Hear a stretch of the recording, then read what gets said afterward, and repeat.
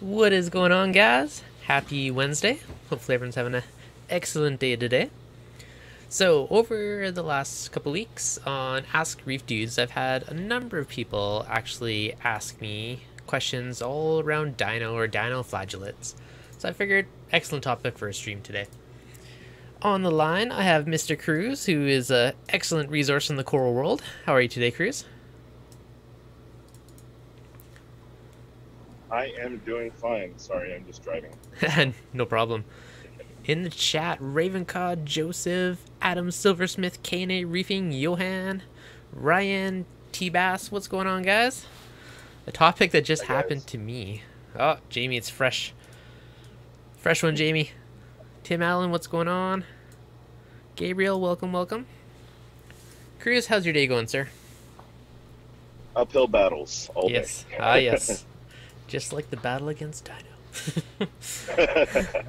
Absolutely. Yep. So I know most people call Dino like an algae, but it's more of a, like a protist. It's kind of its own beast, and it is photosynthetic, so it does make it a little more challenging. Um, one thing too is just how to properly identify it, because I know sometimes a lot of people confuse it with something like cyano, cyano or diatoms. Uh, the easiest way to kind of separate them, like diatoms, is more of like a brown dusting on your sand, where dinos or dinoflagellates tend to be more stringy, or you'll see them trap like little gas or air bubbles, and they'll be kind of like little bubbles floating on little strings all over your tank. That's probably the easiest way to do it. Um, if some, I do see people confuse cyano sometimes. Cyano is generally more of a green or a red, where dinos is more of like that brown color. So that's kind of a good way right off the bat to kind of do it. And welcome, guys. Welcome. Sorry, just quickly skimming the chat. Welcome everybody that's just joined us. So, why? So I have seen people shut down tanks because of Dino, and that's no fun. No one wants to sh- have to shut down a tank because of it. Mhm. Um, so there is ways to kind of battle it. One of the more common ones I generally see recommended is by doing a blackout on the tank and that's usually people will take something like cardboard and completely wrap around the tank and do a three day blackout on it. No. Oh, okay, so just actually reading the chat, uh, Jamie was just saying I had low nitrates, low phosphates. The only thing that helped when I added refugium and algae scrubber, uh, and cleanup crew helped control it. So on that note, with cleanup crew, so dinoflagellates is actually somewhat toxic, so it could kill your cleanup crew. So you don't necessarily want to be adding cleanup crew to it to try and take care of it, because if they die, this is going to create more nutrients in your tank. Now on that, Mhm. another common thing I've found is in tanks where people are like overdosing carbon dosing or they're doing certain things that may be killing their nitrates and phosphates could almost push you on the edge to have dinos. Yeah, so exactly. So blackout is a temporary band-aid. So it will fix it. Um, it also fi- because it is photosynthetic, it's one of those ones you normally only see in the lighted areas of your tank. You won't necessarily see it in the shadow areas. So it's another way to identify it. Um, another big thing is too people will generally try and suck it out via like a water change, but that's actually kind of counterproductive. Because if you do a water change, you're adding in those extra nutrients from the fresh water, which actually are going to feed more to grow. So if you are want to suck it out of your tank, it's a good idea to do something like run your water change hose into your filter sock, something along those lines. That way you're recycling your water and don't even do water changes for a few weeks. Like you want to just get that dinos out, but without adding fresh water. So it's another big one. Yep, absolutely. Hey Lisa, um, there a plastic net over my overflow pipe blocking small debris and algae. Is it then possible for the overflow pipe to be clogged? Anything is certainly possible to get clogged eventually. Uh, if you do have something covering your overflow pipe, just make sure you clean it regularly so it doesn't build up with crud or other stuff. Um, okay, so someone was saying they use reef bugs and phytopaste to outcompete and basically wipe out dinos overnight. So, long-term fix, you do want to outcompete it. Um, so certain reef bugs will definitely consume it. There's also bacteria, which you can dose certain things in your tank to up the bacteria and have that bacteria outcompete the dinos, which is more of a long-term fix. Experiment with heavy phyto addition. I don't know if phytoplankton necessarily would outcompete it. Just kind of looking through some of the comments. Generally, Hmm. silicates and other stuff. I, I supposedly help kind of bring it out. I've never personally had a big fight with them, so this is going off par- kind of other information. Cruz, have you dealt with them directly in your systems? Not directly in our systems, but in uh, a lot of our clients' systems. Mm-hmm.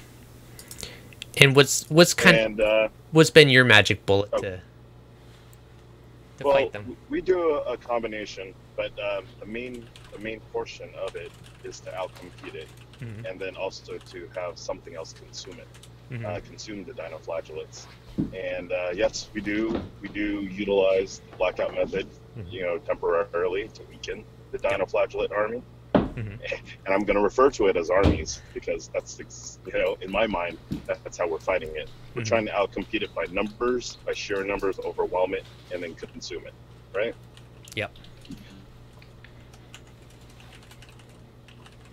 All right. a So, lot of the times we would, you know, we would definitely lower the uh, lower the light intensity. Mhm. We still, you know, have corals or very, very, you know, sensitive corals to, uh, you know, to black out. A lot of uh, a lot of people run that very, very fine nice edge, um, you know, on lower pH, and uh, you know they don't do a lot of the bubbling or supplemental aeration, Yep. as I call it.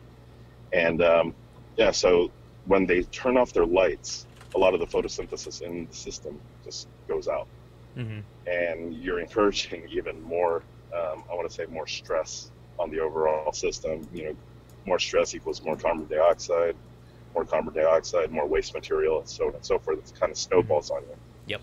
and and these uh, uh, these protists as you as you called it what they do is they're opportunistic and if they have the excess nutrients released back into the water column they will consume it and they would absorb it you know, feeding the chloroplast inside their bodies, um, in you know, utilizing the light or limited light to actually photosynthesize.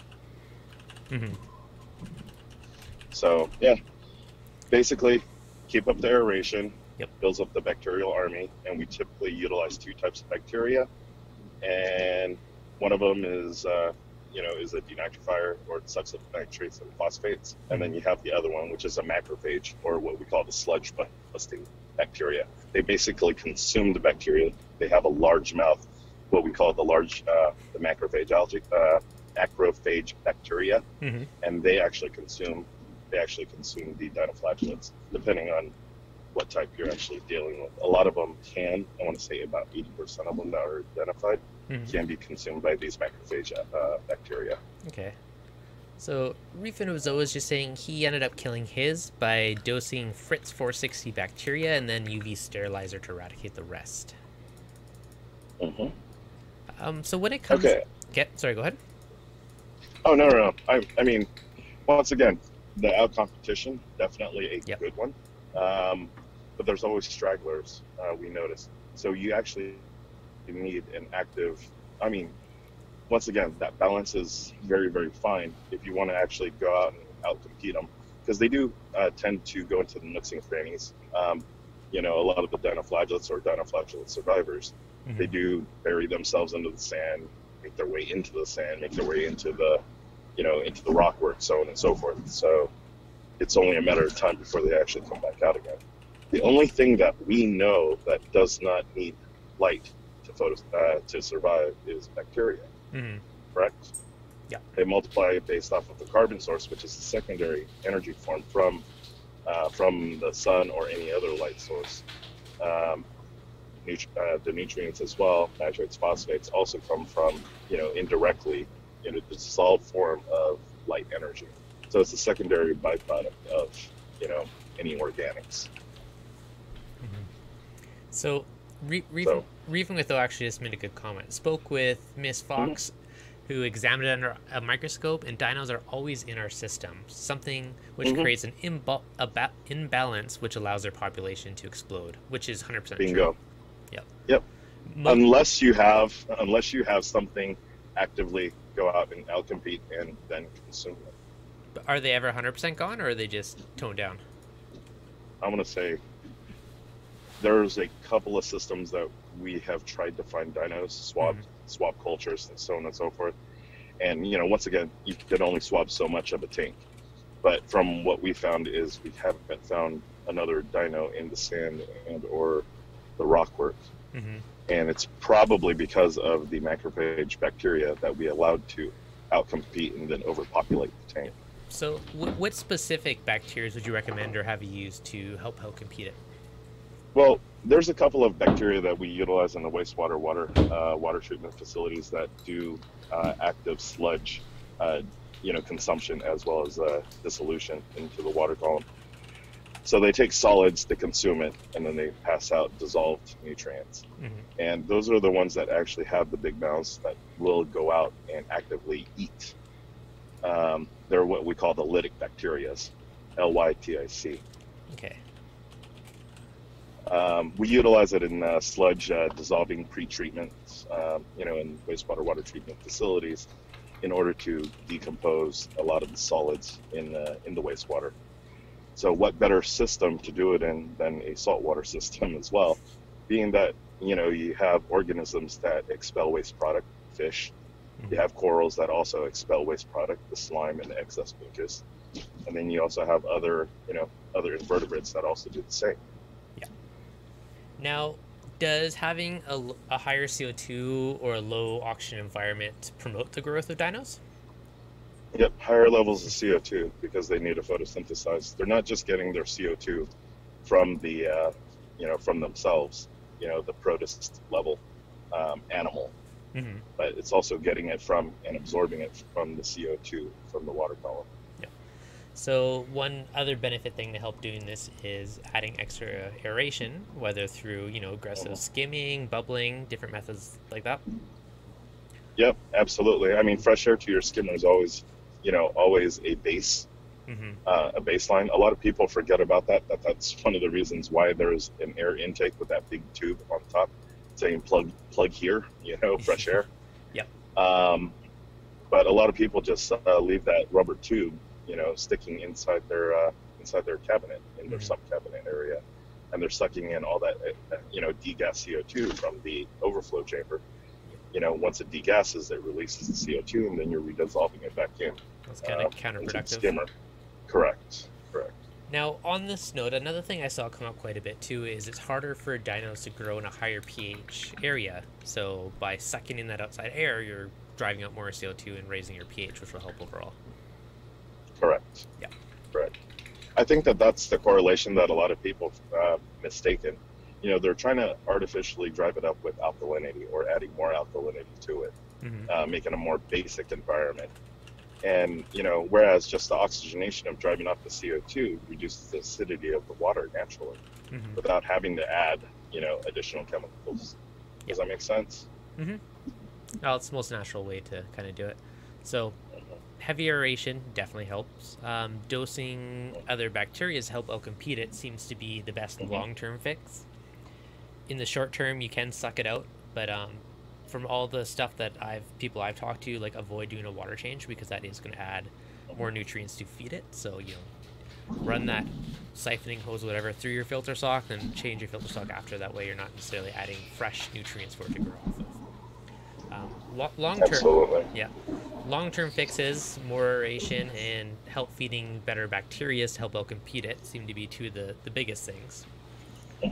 And uh, on a side note, uh, Mhm. Dev, you know, when you're actually growing your bacterial army, uh, you know, the two different armies, the one that actually goes out and eats, you also need the one that actually absorbs a lot of the excess nutrients that are being released back into the system. Mhm. Otherwise, you end up with uh, what a lot of people see are cyano outbreaks as well as green hair algae outbreaks after they, you know, after the combat the dinos. I actually And uh, I have seen a few people report cyano after, so that does make sense. Mhm. Um, And then I've seen other ones with more green hair algae because once again, those two enjoy a higher CO2 or what we would call a lower uh, lower oxygenated environment. mhm. They're able to capitalize on that. Um, you know, it's more or less like a greenhouse in water um, at that point, and they really really thrive on those type of environments. Cyano doesn't like oxygen. It's uh, one of the byproducts that cyanobacteria also releases is uh, oxygen. Mhm. It's how our uh, how our planet got uh, got the atmosphere. It was from cyanobacteria that uh, formed the stromatolites. Crazy. Yeah. So See, you learn something new every time we talk. um, so a couple of people are asking, is there any recommended bacteria to dose in the event of it? Like, do you have any specific ones that you would say is useful? Well, the ones that are commercially available, uh, you know, once again, you have the ATM product line. Mm-hmm. So you have the, um, uh, what is it called? The ATM Outbreak. That's a good one. Yep. Um, they do a lot of uh, bacterial diversity there. Mm-hmm. And then the other ones that I like is also, you know, Fritz is pretty good as well. You know, they have some. Uh, Microbe Lift Mm-hmm. um, is also another good brand. Uh, also, you know, a lot of them stem from the wastewater water treatment uh, facilities. So, Mm-hmm. and then lastly, um, the one that we we prefer because they actually have two separate strains of them is the Dr. Tim's one and only, and then the Dr. Tim's Waste Away. Waste away one and only. Okay. Uh, some Mhm. somebody in the chat was just asking about Microbacter seven. Mhm. Sim- It works. Similar boat. Okay. I haven't used that one yet. Yeah, but it's yeah, it's more of a uh, denitrifying type of bacteria, so it fixes the uh, the excess uh, nitrates in the water. Okay. Perfect. So that's so that one would replace, um, in our case, the Dr. Tim's one and only, and then the microphage uh, bacteria that we're talking about, the sludge busting one. Okay. Typically, it's not just the enzymes that uh, that dissolve, and I know that some people only um, package and bottle up the enzymes Mhm. that are produced by the bacteria, not necessarily the bacteria themselves. Dr. Tim's does have the active bacteria, Mm-hmm. so you're having these large, you know, I want to call it uh, bacteria with vacuoles that they can actually swallow certain things and solid particulates. That's the one that you want to also outcompete and then consume with anaphylaxis. So, bit of a question on this one. So, we're talking Yeah. about certain ones that are nitrate removers, but on the flip Mhm. side, I've also heard of dinos happening in a tank where they have Nexus Zero nitrates and phosphates, so people were actually dosing nitrates to try and bring it. Have you had any experience with on that side of it, like too low of nutrients potentially causing it? Well, I mean, uh, t- typically dinoflagellates utilize. So if they're already having nutrient issues and the dinoflagellates are sucking it up, Okay. And you know the corals are also sucking it up. Mhm. Um, they also have a refugium uh, or some type of macroalgae, some type of turf scrubber, so on and so forth. You will experiencing uh, what we would call a false low or a false low nutrient level. So you're just testing low. utilization. Yeah, so you're cascading the uh, the issue by increasing the nutrients. If you do it rapidly, you'd also want to go ahead and add your bacteria at that time to also be another factor in the uh, in the consumption of those excess nutrients. Mhm. And as things dies, you know, as things die, you know, like the um, like the macroalgae, you still want a healthy bacterial population to actually consume it, then get skimmed out by the skimmer. Mm-hmm. Nope, makes sense. Now, so Uh, crew. and Oh, sorry. Go ahead. Oh no, and uh, I was saying, as the dinoflagellates also get consumed, remember they're photosynthetic. hmm As you consume them and then you digest them, guess what else is released? More, more nutrients back into the water column. So you need something to be there to pick it up in very, very dense quantities or a dense population, Mhm. and that's where a lot of the nitrifying bacteria come in very, very handy. Okay.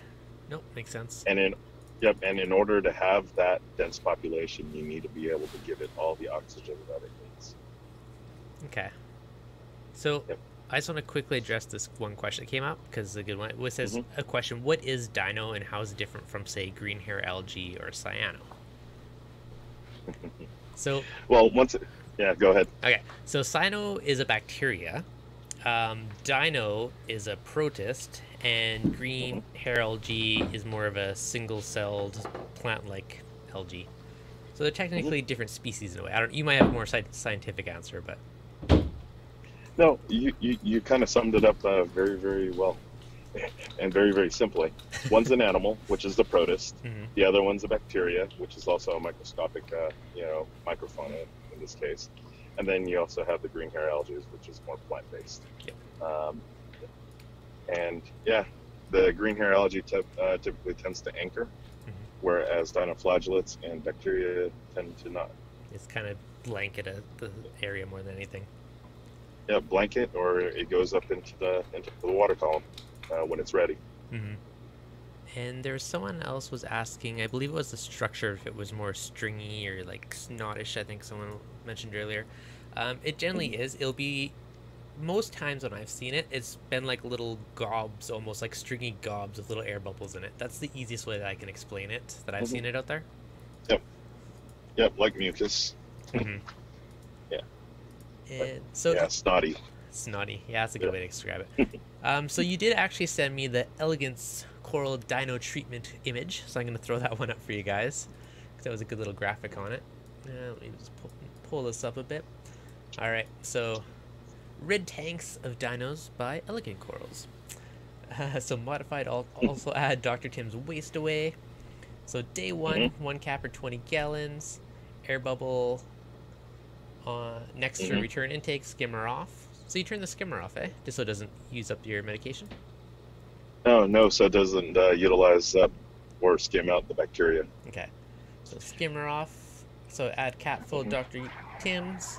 Add 2.5 mil of LG Oast. I've never heard of LG Oast. Yep, there's a there's a uh, substitution Mm-hmm. uh, underneath the uh, underneath the aeration filter. Okay, so use LG see Oast instead of vodka. Mhm. And instead of bioload, you could also use peroxide. So peroxide's another one. Actually, I've seen a lot of people spot treat it with.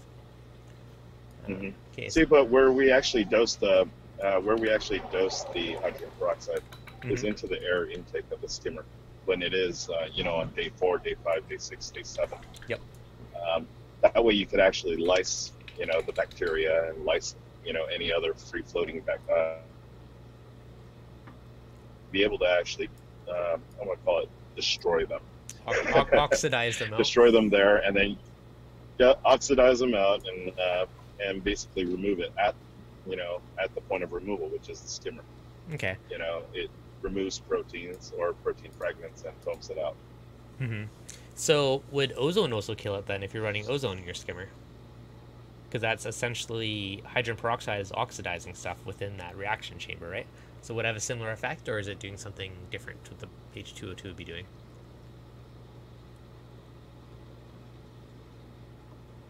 Cruz, cut out on me. Ah, we lost you. Right when I had a good question. Okay, sorry, Okay. I'm back. All right, you're back. Okay. Um, okay. So hydrogen peroxide in a skimmer is essentially oxidizing something, like much like ozone. So would running ozone in a skimmer also combat free-floating dinoflagellates? Yes, yes, it can. Okay. But in in uh, how do you say in conjunction with the out competition with bacteria, because you have to be able to get that excess nutrients somewhere, Yeah. right? Mhm. the better pla uh, the best place to actually export you know bacteria or excess bacteria as well as the nutrients that they carry is at the skimmer Mhm. Well, makes sense. In, instead of just broadcast instead of broadcasting it throughout your entire tank Mhm. You know you're removing the nutrients at that one point of the skimmer as opposed to throughout the, your entire tank and releasing all that nutrients back in Mhm. uh, un- uncontrolled as i call it That's a good point. See, whenever I've ever dosed peroxide, I've always turned off my flow and just spot treated the area that I wanted to kill directly. But doing it through your skimmer, Mhm. I mean, it makes sense in a different way of doing it. Mhm. Now, Yep. a few people have also mentioned UV, so killing the free floating ones more or less in your water column from spreading or landing somewhere else. In spreading, have you do you have much experience with UV in killing dinos? So UV is one that I have I have never personally tried. I've seen a few people in the chat say it's worked for them to help help it alongside mm-hmm. bacteria. Yep, absolutely. And the thing is, is that remember, dinoflagellates do go into a modal state, and they do disperse into the water column. Mm-hmm. You know, very, very similarly to bacteria. Bacteria is not just only on the surface of things; they also migrate to the water column. You know, once the uh, population density is reached, Mm-hmm. it wants to be able to move and recolonize somewhere else. I think we spoke about that in the in the previous stream that we had. Yep. Bacteria, dinoflagellates, things always like to move to an area of opportune environments, Mm-hmm. or better, or um, uh, let's see, how do you say it? Yeah, better environments for it to actually increase its population. So yeah, dinoflagellates, if it's uh, free moving and it's in the water column, UV is uh, the UV sterilizer will catch. Okay, perfect. Yeah, I've seen that one come up in a few times in the chat so far, so I just want to address that one. Uh, Yeah. Combe Martin Marine was asking, what's your view on Reef Bio as a bioavailable carbon replacing vodka method? That is Brightwell's version. Uh, never personally used it, but there may be more to it. But generally, vodka, sugar, vinegar, no pox, they're all very similar. And they're all And just. vitamin C. yeah. And vitamin C. Never tried that one either. Or vitamin C, but they're all basically a different carbon source that you're using to feed and grow the bacteria in your tank. They may have some other bacteria or stuff mixed into it, I don't know, but that is essentially what they're all accomplishing. So I, I can't say if that works any better or any different than the other ones, but it's it's similar idea. Absolutely. I mean, we, we've seen no pox. Uh, we've substituted no pox for uh, vodka. We substituted um, algae outs for uh, for vodka. Mhm. We substituted a lot of other things for additional carb dosing or different forms of carb dosing. Yeah. So yes, it does help.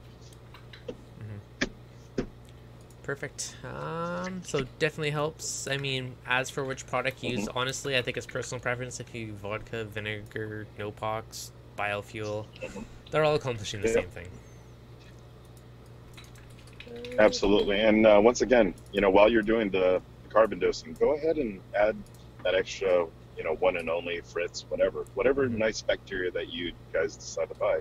Go ahead and dose that first before you actually add the carbon dosing, and turn off your skimmer so that you don't just suck out all that money that you just put back in. yeah, no kidding. That was no, that was a great, great point from last week's stream of actually dosing beneficial bacteria that you want in your system when you are dosing something like a carbon source, because then you're helping to grow it and get the good stuff to thrive in your system and create more of that biodiversity. So Absolutely. end end of the day, to kind of sum it up, I think that outcompeting using more of a bacteria product is a really good way to outcompete dinos. Is basically get the bacteria to steal its food source so it can't thrive with it. Mhm. Um, And somebody somebody also mentioned reef bugs as well. Yep. So yeah, that would also be another one. They also do have bacterial strains that are desiccated, and when you actually add water to it, the bacterial population does uh, rehydrate and Mhm. it does start multiplying. So yeah, that's also another uh, delivery method to actually getting the bacterial population, you know, or the healthy bacterial population back up. okay, I'm actually just reading a quick thing about. It. I've never actually used a reef bugs. Natural invertebrate fruit contains 12 strains of live marine microbes. Mm-hmm. Yes, sir. Hatch in 30 minutes. That's kind of cool. Never used that one. Good to know. Yeah. Have you tried it? yes. Does it work? Yes, we have. Does it work? Does it work well? It- It does, but it's a little slower. Okay. It doesn't hatch and work in 30 minutes? Oh. No, whereas uh, whereas in the liquid form already, um, and you know it's already in that state of uh, I want to say hibernation. Mhm. All you have to do is just put the right nutrients in front of it, enough warmth, enough light, and it goes to town. Okay. Or sorry, enough nutrients and enough uh, oxygen. Yeah. Because So, once it goes anaerobic, it goes it goes into a hibernating state. Um, throw this one out there since you're saying that. Enough oxygen. Mhm. If you guys are doing any form of carbon dosing, adding that extra aeration goes a long way because as that bacteria expands, it's going to absorb the oxygen, which is going to create more carbon dioxide in your tank. So doing more aer- aeration to force out that CO2 goes a long way to helping those bacteria and helping your tank thrive. Um, so, someone else was just asking off topic, but I've heard about this vitamin C dosing. Anyone else seen anything about it? So you mentioned Yes. that when we were talking about carbon dosing. So is vitamin C a Mhm. form of carbon? Yes. Okay. Now, on an unrelated note, I've heard people doing this supposedly saying it helps zoas in some way or other. I've never done vitamin C dosing. Mhm. Do you got any other info on it? Um, it's typically uh, why we also take vitamin C when we have a cold. Yeah. It also boosts the immune system, uh, the immunity, um, you know, in your overall system. You know, we treat our tanks like a, you know, like a patient.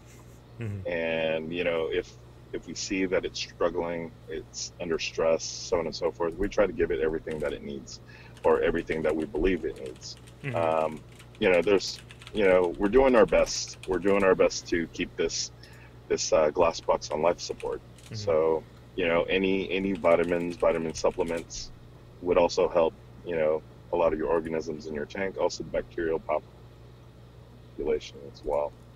So, yep, definitely, uh, definitely interesting, and uh, you know, trying to treat the the overall tank as a human body. Mm-hmm. Yeah, it's true. Um, one Yeah. that was mentioned earlier was hydrogen peroxide. hmm The general safety-ish dose of it is about one mil per ten gallons. Um, that Mhm. that is one you don't want to overdose because it can become toxic to an extent to the fish's gills and other things if it's too much concentration. Mhm. But the general, I guess, hobbyist accepted value of not having an issue is one mil per ten gallons. So throwing that out there if anyone goes down that route. Yeah. Would it be? Absolutely. I'm assuming it's probably similar regardless of dosing it in the skimmer or somewhere else. Kind of stick to that ratio, or is it a little more forgiving because it's being used up directly in the skimmer? It's uh, being utilized up a little bit more directly in the skimmer. Okay. And that's where it's dwelling. Um, a lot of the times, um, how do, how do you put it so simply? Um, hmm. Yeah, basically, uh, once again, hydrogen peroxide is non-discriminatory when it comes down to catalase or reacting with membranes, you know, Mhm. living membranes, tissue, like the fish gills and corals. And, you know, one of the reasons why we try to dose it only at the skimmer is, you know, that's where it's going to supercharge. That's where it's going to interact with high contact time Mm-hmm. with a lot of the uh, bacteria and other, mic- you know, microorganisms that end up into the uh, skimmer cone. Yep. And that's the that's the shortest route to being exported. Does that make sense? Yep. That makes sense. So, so you try not to let it dwell too much in, you know, in broadcast dosing, you know, throughout your tank. And that's one of the reasons why we do it there. That's why we also put ozone there. Yeah. So it's, it's a, a much safer place, and you're getting more bang for your buck by dosing it in this skimmer, which is your reaction chamber Mhm. essentially. Yeah. Okay. Absolutely. And and as you know, when uh, when you turn on the ozone, you notice that your uh, protein skimmer um, goes into uh, uh, overdrive or Mhm. turbo. Um, same thing with the uh, hydrogen peroxide. You add a little bit of uh, hydrogen peroxide to the air intake of your skimmer. It pulls in that hydrogen peroxide. hmm gets mixed up into the water stream, and then you'll notice that your protein skimmer also goes tur- turbo, Mhm. and it starts foaming really, really, you know, actively. So actually, here's another good question. Now, if you're dosing any of these bacterias Mm-hmm. or other stuff to your tank, doing a wet skim Mhm. versus a dry skim, does it have a big impact either way on it, or is it more just the fact that you're getting all that aeration and or sucking stuff out? Well, yeah, we always do a dry skim. hmm Uh, it doesn't matter uh, when we're doing it, even if we're doing a lot of the, um, you know, the dinoflagellate regimen, green hair algae regimen, cyano regimen, hmm so on and so forth. We notice that a dry skim, you know, typically tends to, you know, build up around the neck a little bit more. Yeah. So some people don't want to clean the neck that often, hmm but it's for me when it's in a solid form, I know that I'm not wasting my water. hmm Yeah, no, I agree. I go for a, a very dry skim. I never do a wet skim. I like then and I can go like a month before I have to do my skimmer and you know make it work for that crud. Yep, So Yep, absolutely. Okay. And another and another funny thing about dinoflagellates is remember the zooxanthella themselves are a are a flagellate. They do tend to migrate and they also get expelled by corals. And we've also found a couple of instances where we where you found dino in corals. Oh, cut out again. All right, so so corals expel zooxanthellae, and I know you could also have. You were saying before, dinos. Is it? I don't know if it's expelling directly from the coral or mixed in with the zooxanthellae, but they are one of those things that is in every system, and it's one of those things that will potentially come out if your tank's too out of whack and things aren't in balance. Mel's aquatic. Uh, any questions? Thanks, Lisa. You're a superstar in the chat. Um, just to throw it out, since Lisa was saying it, um, if you guys do have any questions, uh, reefdudes.com slash ask. This is actually today's stream would brought this up just because I had a couple people ask me about this in the past week or two, so I figured it was a good topic for a stream. So if you guys do want something you want us to do a stream on, reefdudes.com slash ask, throw it up there, and yeah, a good chance if enough people ask about it, it'll turn to a live stream. So I'm kind of curious, any of you guys in the chat, have any of you battled with dinos and won? And if so, what has worked for you? Uh, who is Devin talking to? This is Mr. Cruz from Elegance Corals. He is the one in the background, and yeah, he's been in the. He works in waste management, automation, and works with Elegance Corals. So he's been all over this type of stuff. So he's he's a, a great resource for any type of like bacteria and a lot of these different funky things. Thanks for the stream. No problem. Thanks for hopping on. What's going on, Rogue Aquariums? So, if any of you guys have done anything different strategies than stuff we've talked about today, I'd love to hear about it too. Because, as with most things in the hobby, there's, you know, 20 different ways to accomplish the same thing. What about cotton candy algae? Is that a real algae? I have to look this up now. I've never heard of cotton candy algae. Huh. That actually looks kind of nice. Didn't recognize the voice. Yep. See you later, Lisa. Thanks for hopping on as always. I have never dealt or seen cotton candy algae before. I'll have to do a bit of research on this one. Uh, where can we find the write-up you showed earlier? Um, I will post that to the Facebook page, or the Facebook group, one of the two. Um, if you guys aren't on there, let me draw up a quick link for you, and I will post that diagram.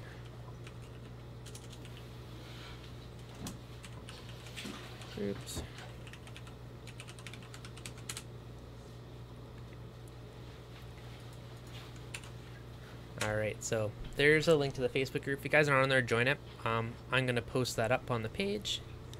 And yeah, if any questions on it, let me know. Uh, can, if anyone ever used Vibrant to eliminate dinos, I've used Vibrant on hair algae as well as bubble algae. I have not tried it on dinos, so I can't speak to that one. Uh, will dosing bacteria outcompete dinos? Yes, it definitely can. That's one of the big things we are talking about today. Uh, where can we find the write-up? Uh, Mexican turbo snails, those guys are ferocious algae eaters. They work very well on hair algae. Now, what, one thing I did mention earlier, dinos, not T-Rexes, but the, the dinoflagellates in your tank. Um, that one, it can be toxic, so if you do see clumps of it, it is a good idea to remove it from your tank. I have seen cases where people have tried to counter it with cleanup crew, and then they wiped out their cleanup crew from the toxins from it. So something to keep in mind about it. And I think that is everything we got. Any other questions? Uh, Mexican turbo snails for cotton candy algae. Good question, that one. I cannot help you on that one. I do not know. I've never had cotton candy before, or even seen it until I googled it two seconds ago. Alright guys, I think that one's going to wrap it up today. If you guys enjoyed it, smash that like button. If you have any future questions, go to reefdudes.com slash ask, send it in, and probably turn to a future live stream. If a simple question, I'll just email you back right away. Alright, everybody. Thanks for hopping on today.